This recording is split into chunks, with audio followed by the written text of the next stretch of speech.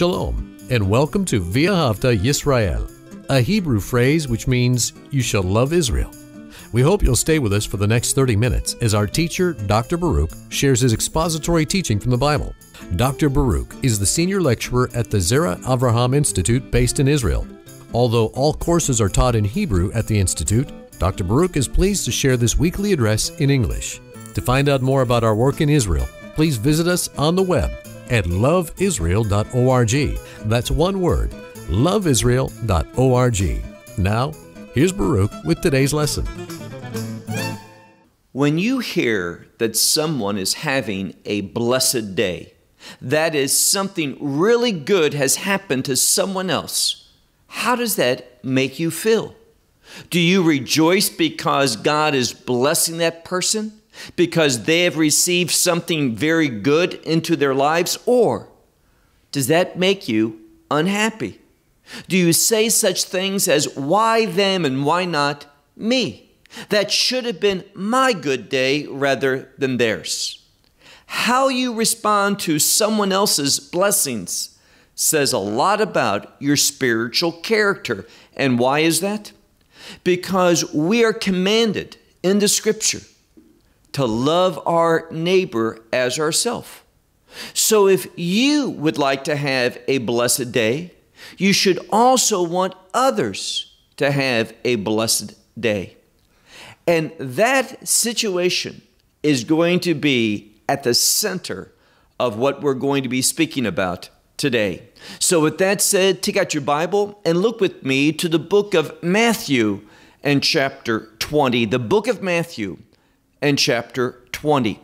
Now, you may recall that last week we concluded chapter 19, and there's this verse that says, and it begins with the phrase, and many. And the word many is probably a related word to a Hebrew term which speaks about a normal situation, the, the rule. And he says here in that last verse of chapter 19, he says, The last shall be first, and the first last. Now, that's very important that we hear that. That those that came first, they're going to be last. And those that are last, they're going to be first. What does that mean? Now, if you read many biblical commentators, you will find a multiplicity of answers for that, that question. But when we look at the Word of God, it's very clear. The Word of God reveals to us what Yeshua, that is, Jesus of Nazareth, what he meant when he said, The first shall be last, and the last shall be first. Look with me to verse 1 of chapter 20. He's going to give to us a parable, and more often than not, parables are for the purpose of instruction. We learn something that should rule our life. Remember, I have shared with you that the term parable in the Hebrew language comes from the same word which means a government, that which rules over. And a parable provides information that should rule over our life, govern us, and how we think and how we behave. So let's begin chapter 20 and verse 1. For the kingdom of heaven is like a man.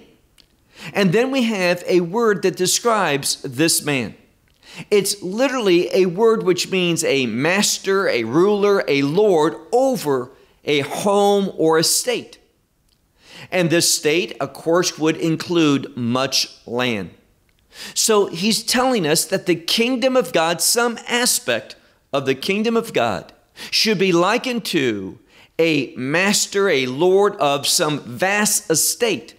And notice what it says concerning this one that this individual, he is one that goes forth early in the morning in order to hire workers.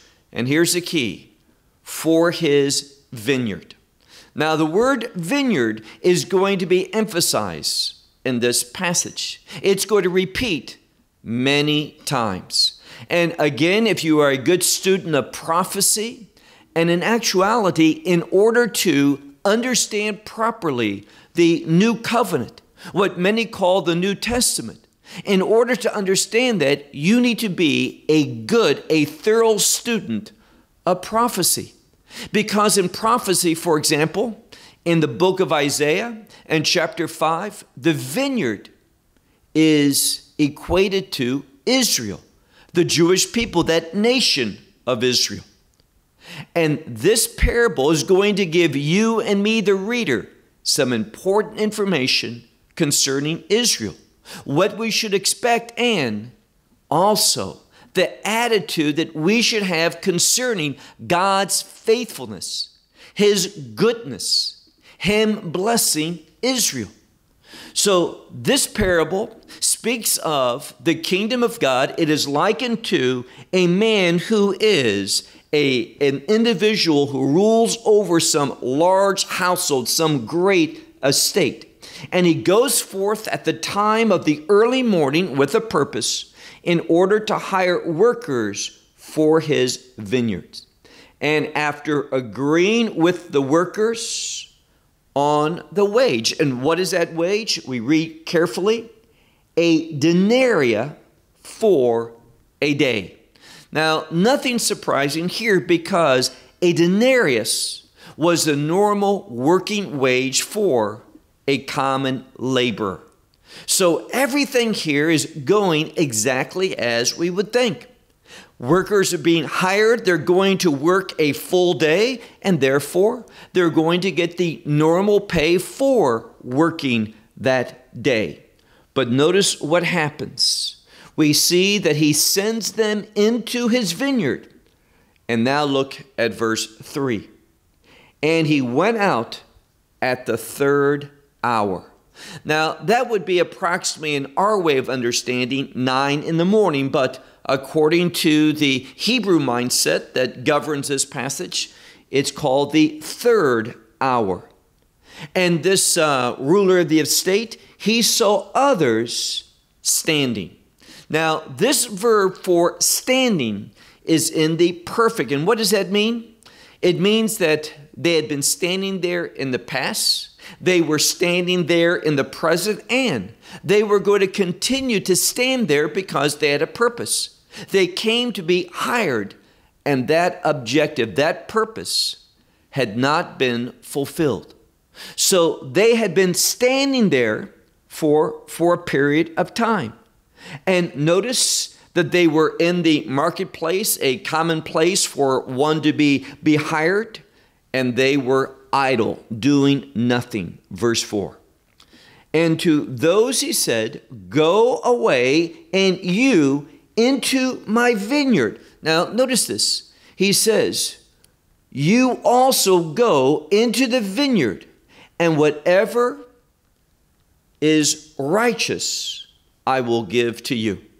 Now, many Bibles simply say that which is right, but it's the word for not just correct or proper, but it's where we get the Greek word for righteousness.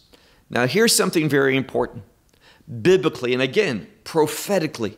When we talk about the kingdom of God, what should come into our mind is the concept of righteousness. God's kingdom is a righteous kingdom.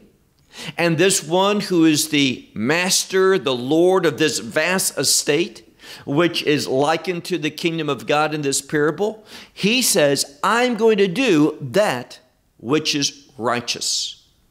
And he says this, and notice what, what these individuals do. It says that, that these also go out, meaning they enter into the vineyard. Look at the middle of verse 5. Again, he goes forth at the sixth and the ninth hour, and he does the same thing. Verse 6. And concerning, and this is kind of odd, and at the 11th hour. Now, the working day, most working days today, eight hours. But back then, people worked a longer day. It was a very intense, difficult labor, 12 hours. And now we're almost at the end of the day, the 11th hour. But nevertheless, this one, look again, verse, verse 5. We see that he has gone out a few additional times at the sixth and the ninth hour. And now, verse 6 at the 11th hour, he goes forward and he finds others, same thing, having stood. And the implication is they stood there in the past, at the beginning of the day, they were there at the third hour, the ninth hour, and they're still there, and no one has hired them. Now think about this. They're there and they remain because there's no other options. They are in need of work to provide for themselves and presumably their family.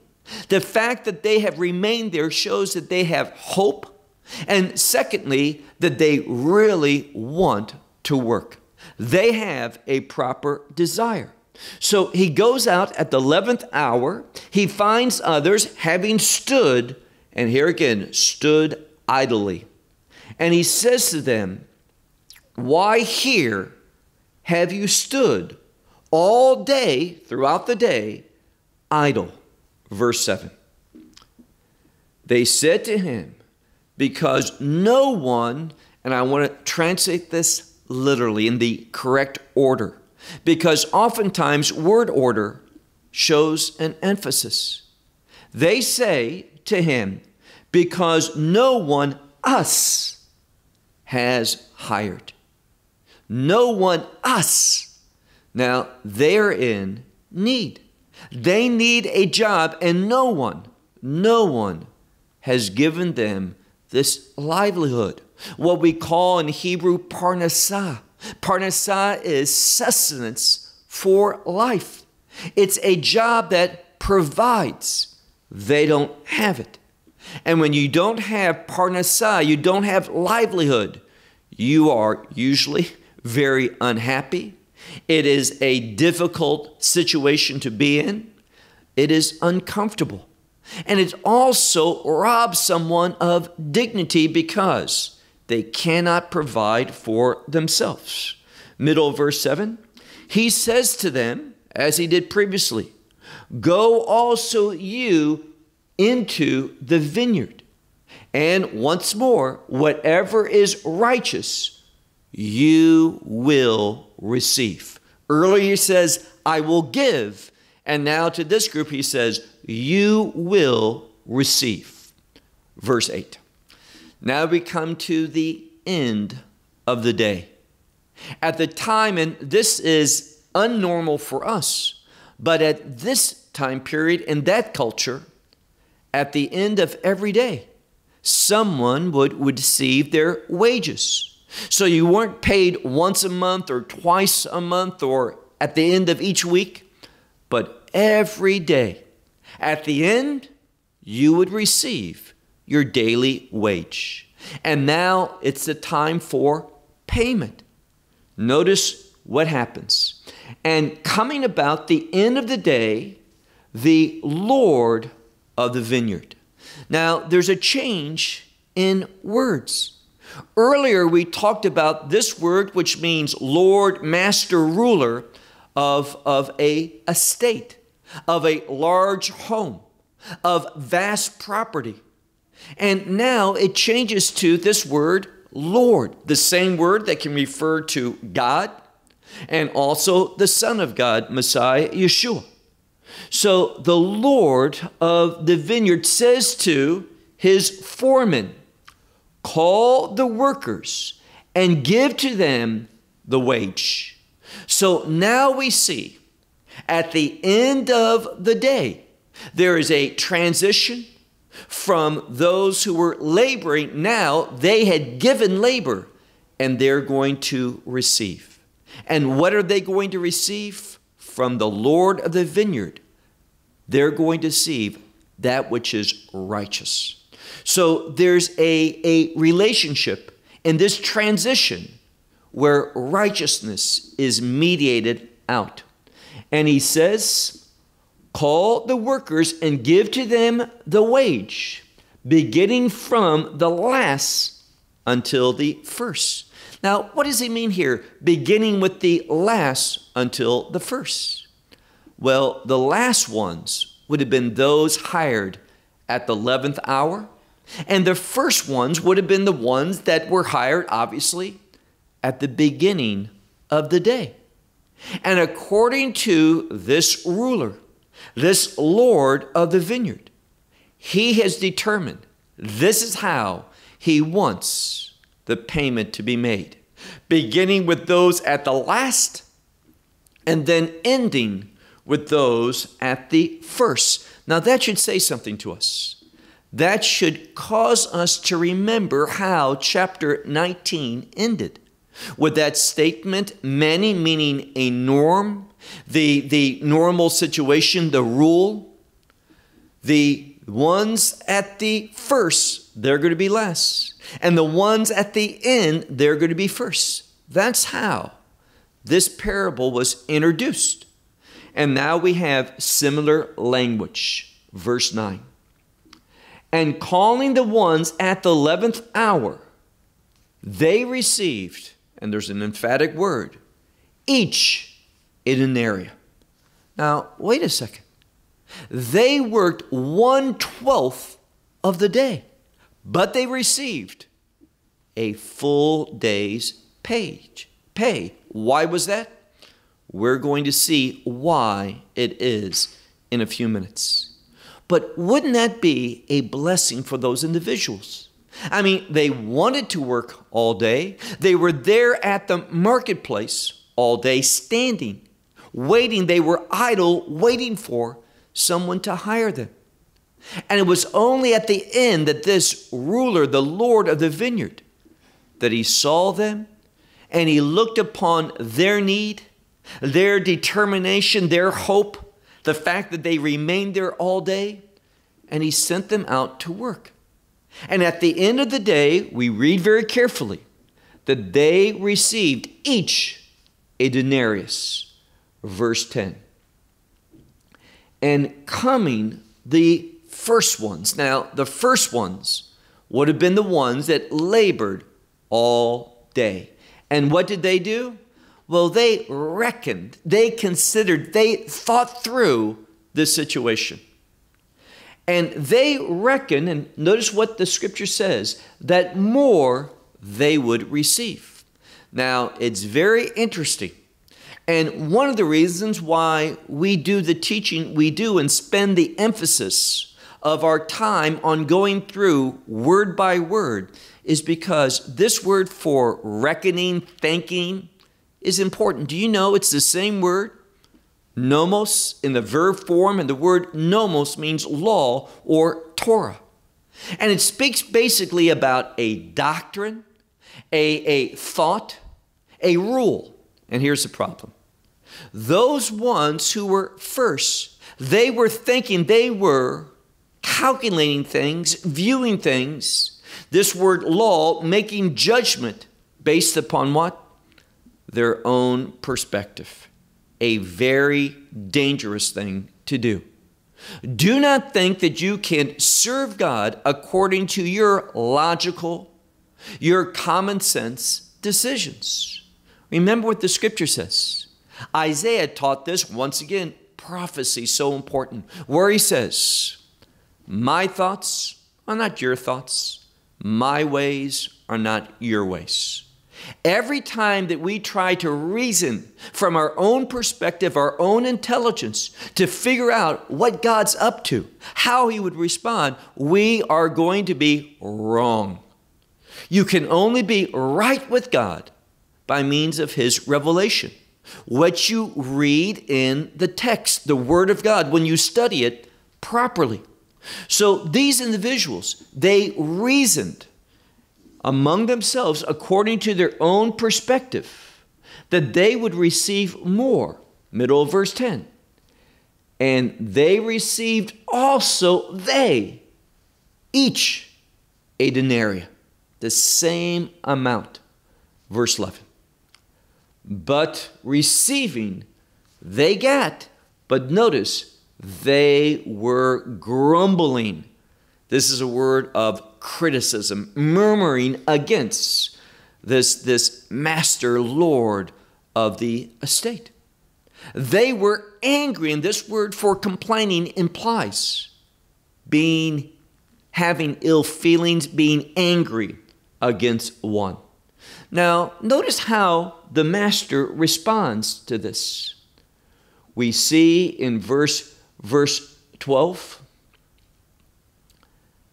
saying that these, the one at the end, only one hour they worked. So these ones who were grumbling, they were saying, these ones at the end, one hour they they did, they worked. And equal to us, they you have made. And the us are the ones who bore the depth. That means the main part of the day, the main part of the workday, and the heat. So they're saying, we don't get it. How is it that they were made equal to us when we worked throughout the entire day, the bulk of the day, in the midst of the heat? How can they be equal to us? Why would you do a thing such as this? Well, here's what we find. We're going to find that this, this Lord of the vineyard, he thinks about not just what is, is right from a logical standpoint, but what is proper from a kingdom perspective. And the kingdom perspective involves grace. You see, these who only worked one hour or maybe three hours or six hours or nine hours, as the examples are, they all had the same need of a paycheck. They all had similar expenses. They presumably had a wife and, and children, and they needed a job. And even though they worked less, the need was the same. And this Lord of the vineyard, he took that in consideration. And he wanted, and we're going to see this, he wanted to do that which was a blessed thing. And why do I say that? Well, keep reading here. Look now, if you would, to his response in verse 13. The his is the ruler of the vineyard. But this one answered. He said to them, to the ones who worked all day long, Friend, I have done no unrighteousness to you. He hasn't behaved unrighteously to them. Was it not a denarii that we agreed, that you agreed with me? They agreed to work all day, 12 hours, for a denarii, the normal wage. He says, Take that which is yours and go away. He was righteous to them, but he was also a blessing to these others. He blessed them all the same because he had the same concern for all of them. Verse 14, he says, Take what is yours and go. But, but I. If I wanted to give to these at the end, also as you, was it, is it not lawful for me to do with what is to me what I will? Meaning, is it not part of the law? The law allows me to do with what is to me, what I possess, what I want to do. And what did he want to do? He wanted to be a blessing. He wanted to meet needs. He wanted to show his love, his concern, and his knowledge of the plight, the situation of others. That is his nature. And the reason why I say blessed, he is a one that wanted to bless these individuals, is because what we see in the next phrase. Look at the end of verse 15. Or, and he's questioning them, or is your eye evil because I am good? Now, the evil eye is not what many people believe it is. We are not talking about some cultural thing in, in a, a covenant forsaking, a covenant ignoring people that speak about the evil eye and such. That's nonsense. This is simply a phrase which refers to a wrong perspective. The evil eye does not see the will of God. The evil eye is against the will of God. Eye, perspective, evil, that which is against God's will. And that's why he says, I have, don't be in the wrong perspective concerning me, because I am good. And what's good? Always. Always that word relates to the will of God. So he carried out God's will. And in actuality, this parable teaches us about God Himself, this ruler of the vineyard. And it has to do with what God's going to do. And here's the key Here's the message it has to do with the nation of Israel.